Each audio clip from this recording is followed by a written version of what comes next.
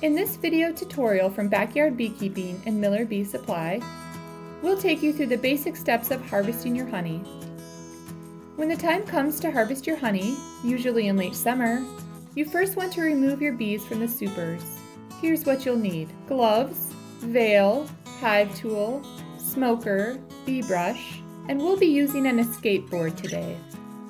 In southern Wisconsin, we pull our supers before Labor Day, which gives us enough time to do a mite treatment before the frost.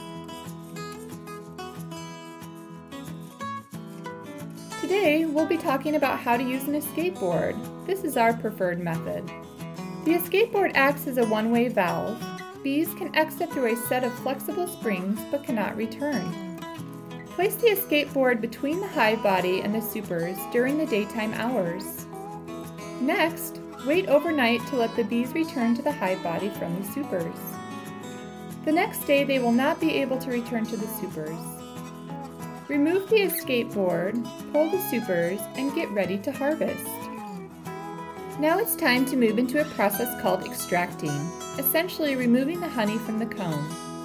Start with a clean workspace and make sure all of your equipment and honey containers have been thoroughly cleaned. Protect your flooring as needed. Here's the equipment you'll need for the process we'll demonstrate today. A capping scratcher, an uncapping tank, a serrated knife or electric knife, a compact extractor, bottling bucket, jars of your preferred size, a finely woven strainer for a 5 gallon bucket, and make sure all of your equipment has been cleaned. With your equipment cleaned and ready to go, let's extract. Only harvest honey on frames that are mostly capped. Bees cap honey when it reaches the ideal water content of 18%. To uncap your frames, place your less dominant hand on the top of the vertically aligned frame. Use your other hand to gently but swiftly and evenly uncap the wax.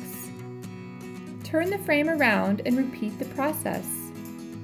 Use your capping scratcher to uncap any remaining capped cells on both sides of the frame. Place the uncapped frame in the extractor. Once you have the correct number of frames uncapped for your size extractor, it's time to spin the frames. You'll hear a whooshing sound as the honey hits the side of the extractor as you turn the crank. Once the honey has all been released, turn the frames over and spin again. Set the spent frames back in an empty super for now. Place a bottling bucket with strainer under your extractor valve. The honey will drain into the strainer, where the beeswax will be filtered out. Don't let your strainer get over full. You can turn off the valve if your strainer can't keep up with the extractor's output.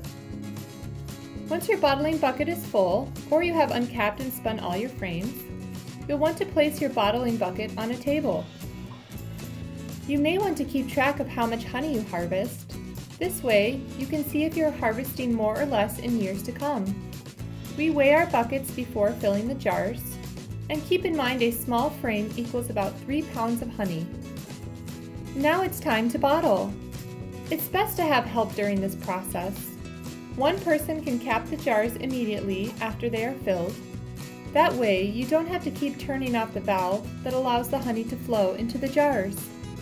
You generally get less mess and less waste when you have an assistant. With your honey bottled, all that should remain is leftover beeswax in your strainer and uncapping tank. You can crush the beeswax in your tank and get a bit more honey. We keep this honey for ourselves as it tends to have a bit more wax content. You can learn how to render beeswax for candles, soap, and more at backyardbeekeeping.iamcountryside.com. You may be surprised how little wax you have after harvesting dozens of pounds of honey. Now for storage and cleanup. You can put your equipment and spent frames out for bees and wasps to help clean up, with two words of caution. Do not put them by entrances you use frequently, and do not put them close to your hives. It will encourage robbing behavior. After the bees have had their fill, you'll want to thoroughly clean and store your equipment. Store your honey at room temperature out of direct sunlight. Never store honey in a refrigerator, which speeds up crystallization. You can freeze honey, which actually stops crystallization. For more great tips like this, visit backyardbeekeeping.iamcountryside.com.